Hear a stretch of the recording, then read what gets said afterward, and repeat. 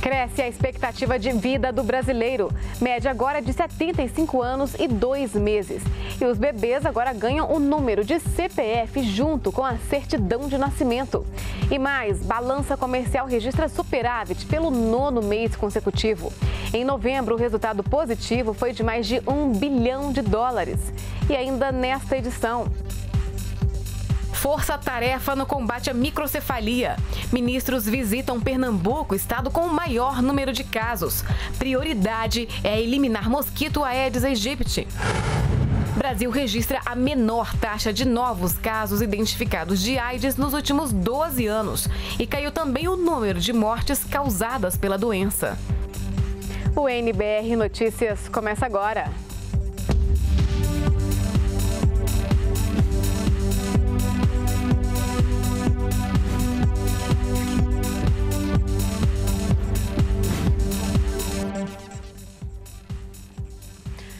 Olá, boa noite. Os brasileiros estão vivendo cada vez mais. É o que mostra uma pesquisa do IBGE. Em 2014, a expectativa média de vida do brasileiro ao nascer foi a maior da história: 75 anos e 2 meses. Um aumento de mais de 5 anos em relação a 2000. O tempo nublado não é desculpa para ficar em casa. O que Dona Janete menos gosta aos 70 anos é ficar quieta. Eu ando muito, ando demais, não paro em casa, leio muito, tenho todos os livros do Sidney Sheldon.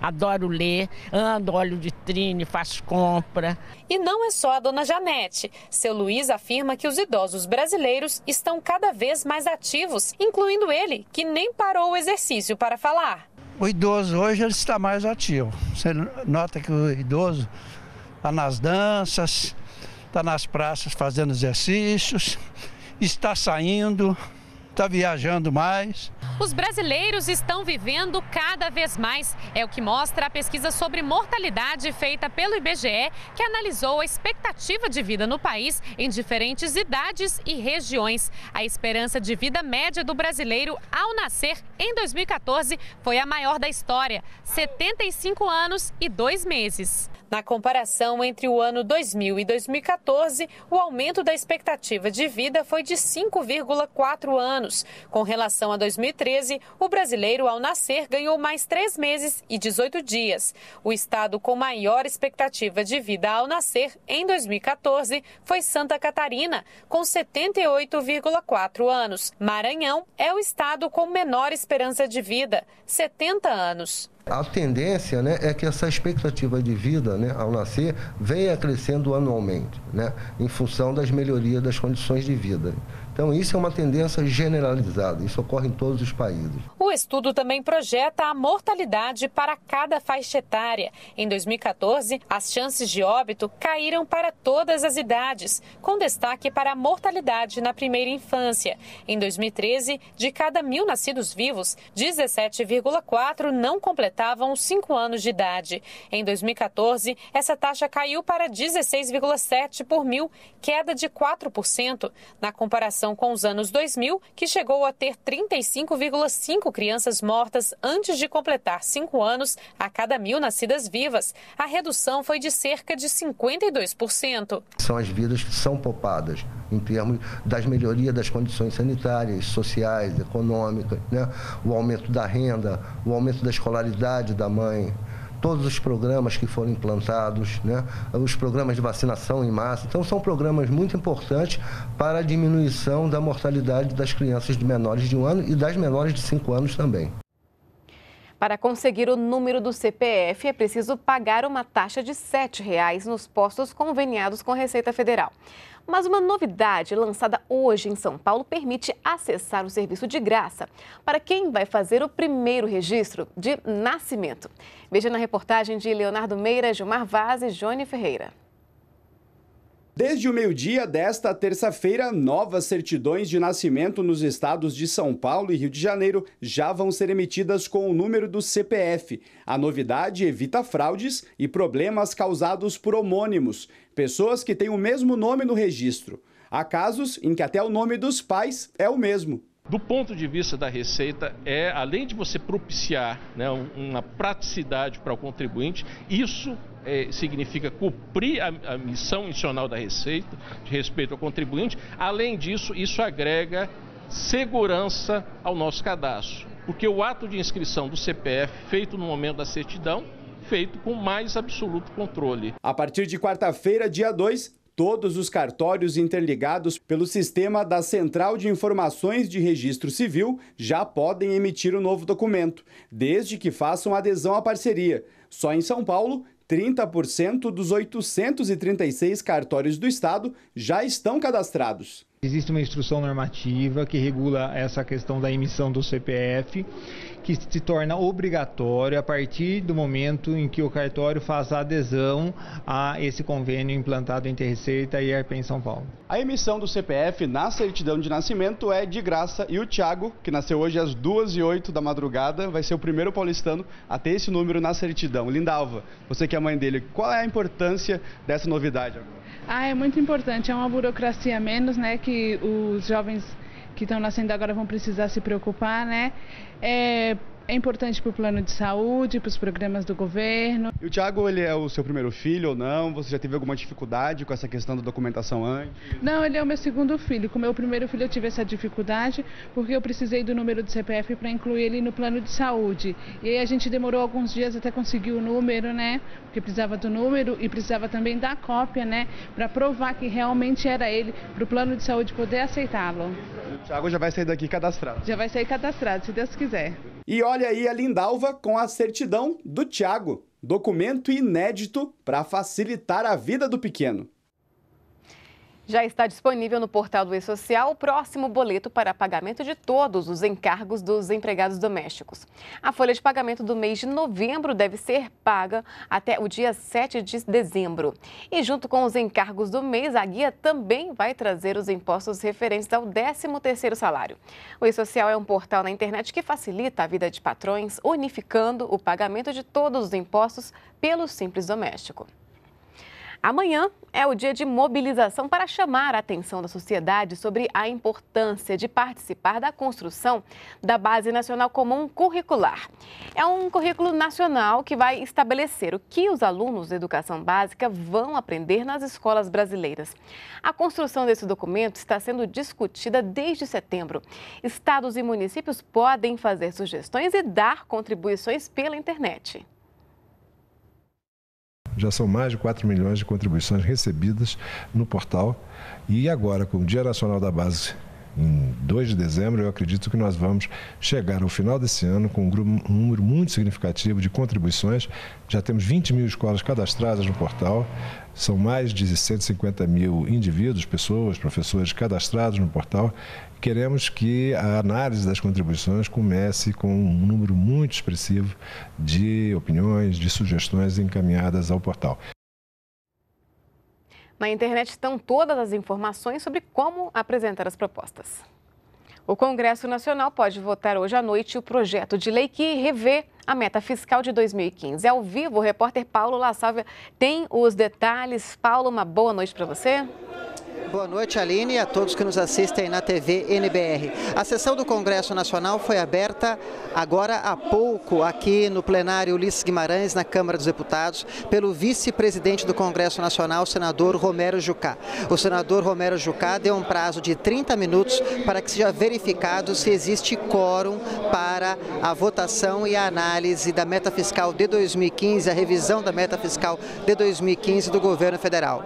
Nesses 30 minutos vai ser verificado o quórum. São necessários pelo menos 257 deputados e 41 senadores presentes no plenário para que a sessão seja iniciada, seja confirmada. Se esse quórum não for atingido, a sessão vai ser cancelada. A revisão da meta fiscal de 2015 é uma prioridade para o governo. Nesta terça-feira pela manhã, o assunto foi discutido numa reunião no Palácio da Alvorada entre a presidenta Dilma Rousseff e líderes de partidos da base aliada da Câmara e do Senado.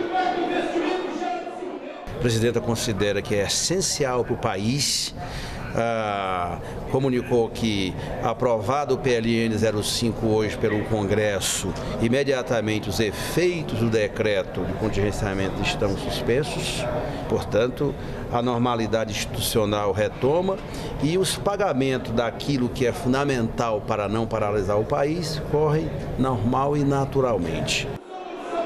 A meta fiscal é a economia que o governo federal faz a cada ano para pagar os juros da dívida pública. É importante porque indica o equilíbrio das contas públicas e a capacidade do governo federal de honrar seus compromissos. Também deve ser alcançada para que o governo federal cumpra a lei de responsabilidade fiscal. Neste ano, a meta fiscal foi de 66 bilhões e 300 milhões de reais. Essa meta foi anunciada ainda no fim de 2014 pelo ministro da Fazenda Joaquim Levi, o que correspondia a 1,2% do PIB. No decorrer do ano passou para 8 bilhões e 700 milhões de reais, o equivalente a 0,15% do PIB. E em outubro foi reduzida para um déficit de 51 bilhões e 800 milhões de reais. Essas reduções na meta fiscal de 2015 ocorreram durante o ano por conta de dois motivos: o menor ritmo de atividade econômica no país e a diminuição de receitas. Em 17 de novembro, no mês passado, a Comissão Mista de Orçamento do Congresso Nacional definiu que a meta fiscal do governo federal em 2015 pode ser negativa em até 119 bilhões e 900 milhões de reais, seguindo uma recomendação do Tribunal de Contas da União de que o governo federal deve quitar neste ano cerca de 57 bilhões de reais de repasses feitos por bancos públicos a programas e benefícios benefícios sociais durante o ano passado. Então, esta é a nova meta, é a revisão da meta fiscal de 2015 que deve ser analisada e votada aqui nessa sessão conjunta do Congresso Nacional. Isso se o quórum mínimo for atingido nos próximos 30 minutos, que é de pelo menos 257 deputados e 41 senadores. Voltamos com você no estúdio, Aline. Ok, Paulo La Salve, ao vivo aí direto do Congresso Nacional. Muito obrigada, Paulo. A balança comercial registra superávit pelo nono mês consecutivo. Em novembro, o resultado positivo foi de mais de um bilhão de dólares. Em novembro, o país vendeu para o exterior o equivalente a quase 14 bilhões de dólares, enquanto importou cerca de 12 bilhões de dólares. A diferença entre as exportações e as importações, o chamado superávit, foi de 1 bilhão 197 milhões de dólares. No mês, as commodities são, são grandes produtos de destaque. Há um aumento nas quantidades exportadas de cerca de 11% no total, propiciada principalmente pelas commodities agrícolas. O milho apresenta um grande destaque, com mais de 4 milhões de toneladas exportadas. No ano, já chegamos a 23 milhões de toneladas exportadas de milho. As exportações superaram as importações pelo nono mês seguido. No acumulado do ano, o saldo positivo chega a quase 13 bilhões e meio de dólares. Esperamos que encerre 2015 com cerca de 15 bilhões de superávit. O que falta, faltam 1,6 para atingir essa expectativa e isso deve ocorrer em dezembro. Historicamente, as famílias na área rural foram as que mais sofreram com a pobreza e a extrema miséria no Brasil. Desde 2003, com as políticas desenvolvidas em um primeiro momento para combater a fome e as implantadas posteriormente para a superação da miséria, esta realidade vem mudando.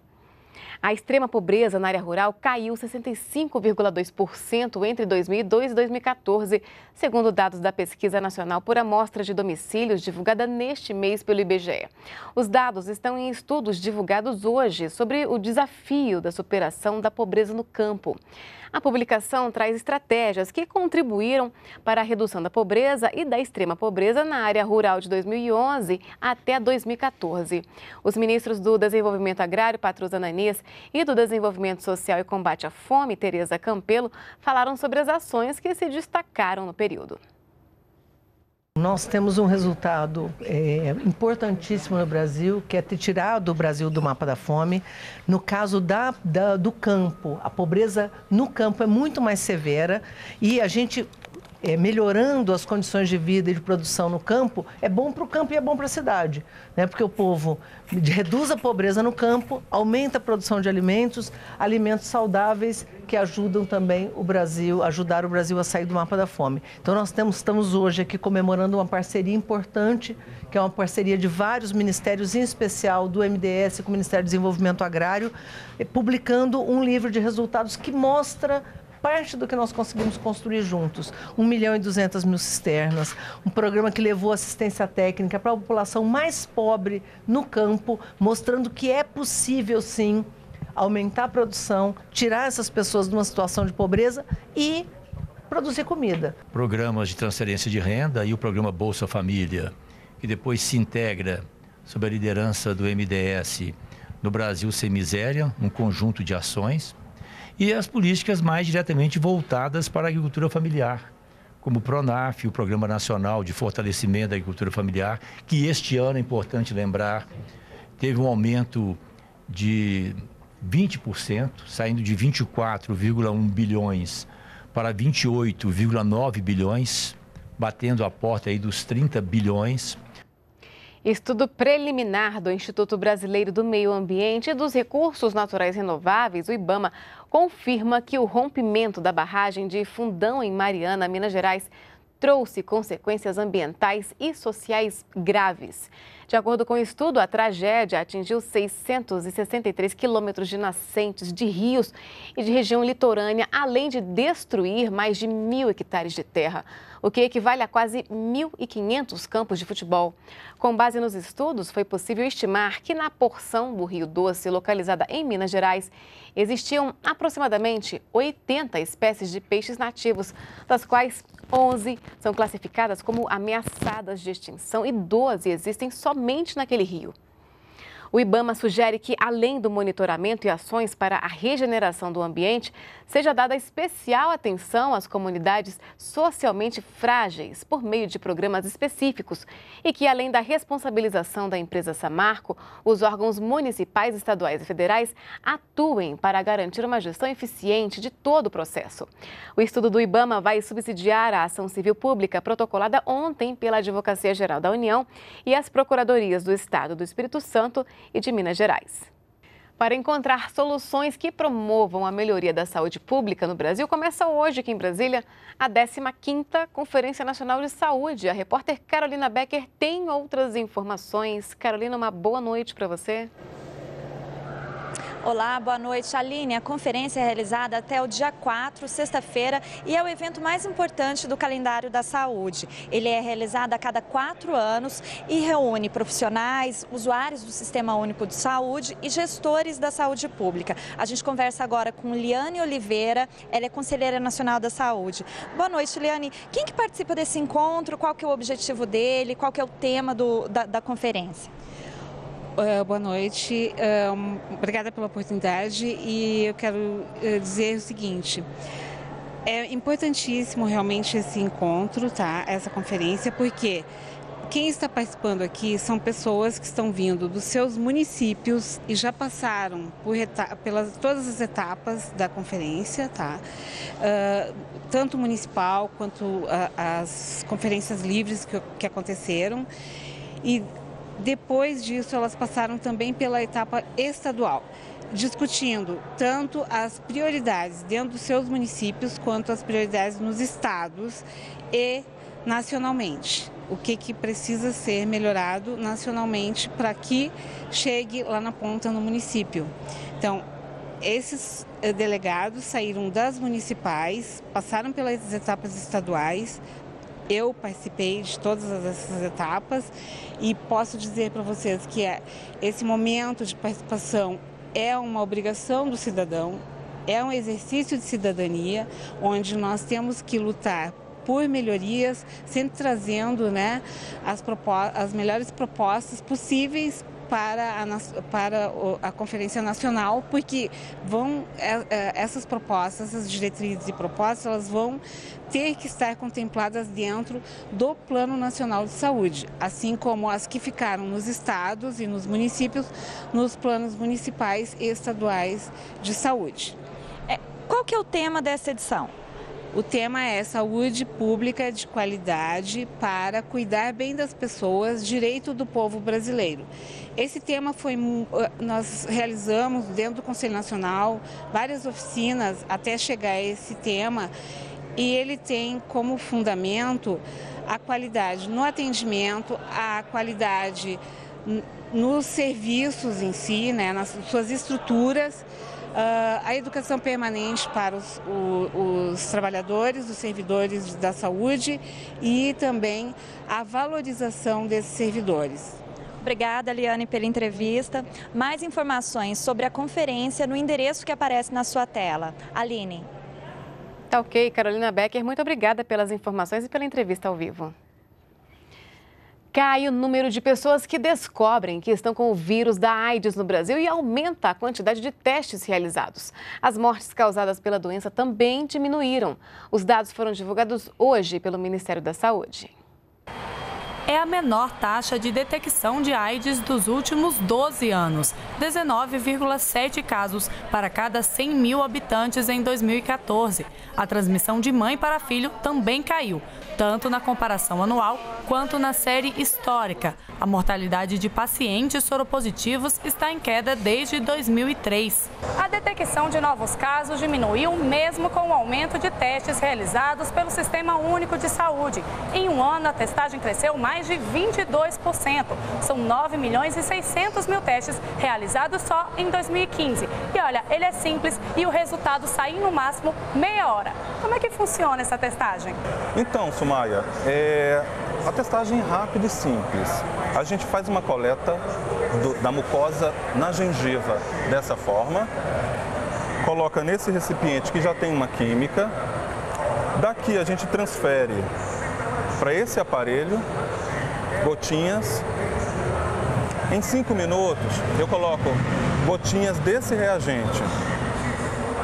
Aguardo alguns minutos, em torno de 10 a 12 minutos, e aqui há um indicador que me dá reagente ou não reagente. E a partir daí, a gente continua uh, o aconselhamento ao paciente a partir do seu resultado. Teste é o primeiro passo para garantir um tratamento de forma imediata e de graça pelo Sistema Único de Saúde. E o tratamento também cresce no país, principalmente desde 2013, quando o governo estendeu os antirretrovirais a todos os pacientes diagnosticados e não só a quem apresentava os sintomas. Atualmente, são 450 mil pacientes tomando os medicamentos. Isso corresponde a 62% das pessoas diagnosticadas com AIDS no Brasil. Recentemente, fizemos um, um compromisso com a Organização Mundial de Saúde, com outros países também em conjunto, da meta de em 2030 nós livrarmos a humanidade da epidemia de AIDS. Cabe ao Brasil fazer a sua parte. E uma meta intermediária em 2020 em que nós iremos cumprir a meta 90, 90, 90. O que significa essa meta? É a gente diagnosticar 90% dos portadores de HIV, a gente tratar 90% dos identificados e a gente conseguir uma carga viral imperceptível nos 90% tratados. O exame de carga viral é um exame feito em pessoas que já têm o vírus HIV. Ele vê o número de cópias do vírus por ml de sangue. Né? Na pessoa que faz tratamento, é, pelo próprio efeito dos medicamentos, a gente espera que esse número de cópias do vírus diminua muito e até chegar a ficar indetectável. Então, isso significa que a infecção está sob controle graças aos medicamentos. E para incentivar cada vez mais que as pessoas se tratem, o Ministério da Saúde lançou hoje uma campanha. Viver com HIV não é fácil, mas eu encaro. Com o tratamento, você é mais forte que a AIDS. A nossa recomendação é que se submeta imediatamente ao tratamento. Por quê? Para seu próprio bem, porque ele terá uma chance muito maior de ter menos danos pessoais e ele fará um grande bem social, porque ele ficará impossibilitado, na sua imensa maioria, de transmitir a, o vírus, de transmitir a, a enfermidade. O soro positivo mais antigo do Distrito Federal descobriu que tinha AIDS quando ainda nem existiam medicamentos para tratar os sintomas do vírus. Ele sabe bem como o tratamento mudou desde a criação dos antirretrovirais até hoje. Os primeiros medicamentos eram bem agressivos realmente. Agora, os medicamentos atuais, eles são bem mais modernos, uma posologia muito mais fácil. Hoje existe o 3 em 1, são três medicamentos em apenas um comprimido. Isso facilitou muito a adesão ao medicamento. Então, há toda um, uma evolução da medicina, o, um progresso da, das indústrias farmacêuticas, né, que facilitaram a vida do portador. É, e o autoteste para saber se tem ou não o vírus HIV deve estar à venda nas farmácias brasileiras no primeiro semestre do próximo ano. A Agência Nacional de Vigilância Sanitária, Anvisa, publicou as regras para o registro do autoteste. O Brasil será um dos poucos países a adotar a estratégia. Pernambuco registra o maior número de casos de Zika vírus no país. O vírus é transmitido pelo Aedes aegypti e responsável pela microcefalia em bebês. Nessa segunda-feira, os ministros da Saúde e da Integração Nacional estiveram no estado e se reuniram com o governador e também com prefeitos para debater ações de combate ao mosquito. Para combater o mosquito que transmite a dengue, a chikungunya e o zika vírus, esse último já comprovado pelo Ministério da Saúde como responsável pelo surto de microcefalia, o Exército Brasileiro está treinando seus militares. Em Pernambuco, 250 homens já foram treinados para identificar focos do mosquito. O ministro da Integração Nacional, Gilberto Ock, explicou que o efetivo total do Exército no Nordeste é de 25 mil homens e mulheres e, se for preciso, todos eles trabalharão no combate ao Aedes aegypti. Se for necessário, essa será o efetivo, esse será o efetivo.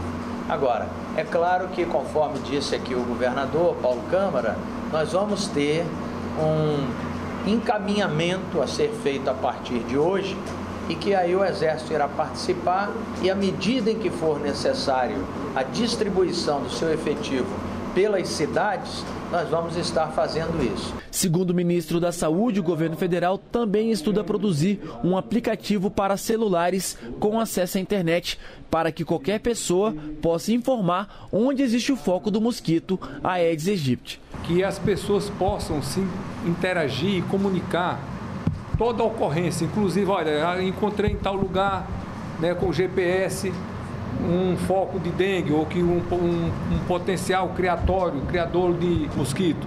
Até agora, Pernambuco é o estado com maior número de casos suspeitos de microcefalia. São 646 registros. 211 casos já foram confirmados. O ministro da Saúde afirmou que esse problema envolve todo o país e que o governo vai anunciar em breve um plano nacional de combate ao Aedes aegypti. Esse plano envolve 17 ministérios, o Exército Brasileiro, não tem a menor dúvida pelo empenho da presidenta Dilma Rousseff, pelo interesse que ela está se dedicando a esta causa, que recursos dentro, evidentemente, das dificuldades orçamentárias que nós estamos vivendo, os recursos necessários, imprescindíveis, indispensáveis ao combate dessas, dessa epidemia não faltarão. O diretor do Departamento de Vigilância de Doenças Transmissíveis do Ministério da Saúde,